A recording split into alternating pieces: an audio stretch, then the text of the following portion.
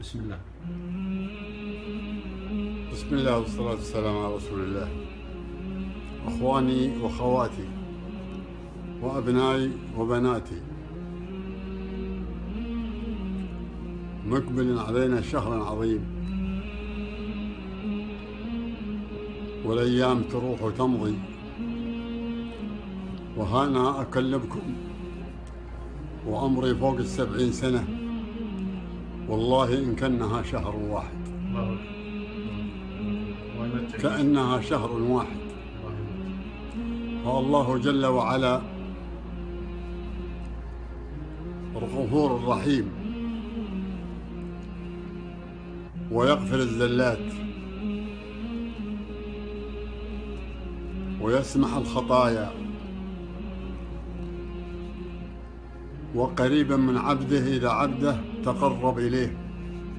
كما جاء في الحديث القدسي ما تقرب تقرب لعبدي شبرا تقربت إليه ذراع. من تقرب لي ذراع تقربت إليه باع. وإن أتاني يمشي أتيته هرولة. أي قالوا العلماء صببت عليه رحمتي صبا. فاغتنموا هذه الفرصة. فأن الله جل وعلا يكتب أجره وثوابه أي رمضان يكتب أجره وثوابه قبل أن يهل هلاله.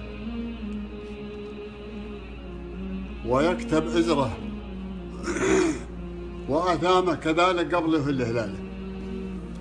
وذلك أن المؤمن والمؤمنة يتهيأ قبل حلول هذا الشهر يتهيأ بالمطعم والم- والمأكل ويتهيأ بالنية الخالصة لوجه الله تعالى أنه يصوم هذا الشهر بإخلاص ومحبة وإيمان واحتساب. كما قال صلى الله عليه وسلم من صام رمضان إيمانا واحتسابا غفر له ما تقدم من ذنبه. فالإنسان إذا احتسب الله جل وعلا ثم جرى عليه قلم القدر وتوفى قبل أن يدرك رمضان أو قبل أن يكمله الله جل وعلا يصب عليه نيته. نيته اللي كان ناويها ما يفوت عليه منها شيء ابدا.